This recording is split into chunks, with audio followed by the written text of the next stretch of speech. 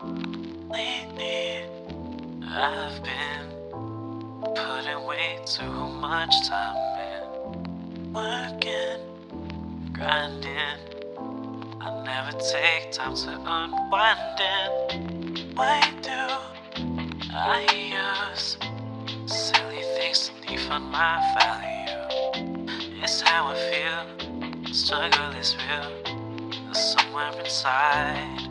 I know I'm beautiful, incredible, the only one like me. I'm giving up the pressure of what I'm supposed to be. You don't get your value from a couple retweets. It's not the way I want it to be. Yeah, you're beautiful, incredible, the only one like me. I'm giving up a vision of what I'm supposed to be. You don't get your